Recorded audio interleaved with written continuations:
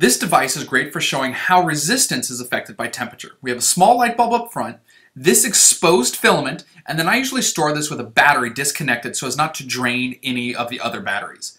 Press this switch and your small light bulb lights up. By adding heat to the filament, we increase the resistance, causing the light bulb to decrease in brightness, or we can blow on the filament to increase the brightness.